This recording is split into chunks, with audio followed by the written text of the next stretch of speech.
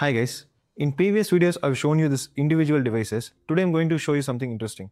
So this is our rack guys. So all the devices are interconnected to each other. So this is how they are arranged in real time also. So in the top two, you can see these are two ASA firewalls, Cisco's ASA firewall. And here we have multiple switches. So, I have one, two, three, four switches and one, two, three, four routers.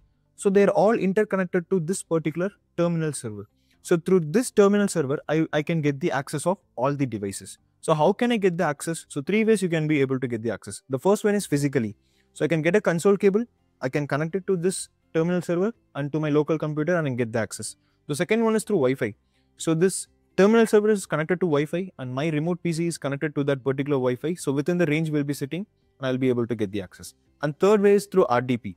So through RDP, it doesn't matter you have to be in Bangalore. Can be anywhere in the world and still you will be get, able to get the access. So we have a link and port number assigned to this particular um, terminal server and through the user credentials in the link, you'll be able to get the access. So our international students, those who are away from Bangalore, still they will be getting all the access of this particular rack, though they are not physically present.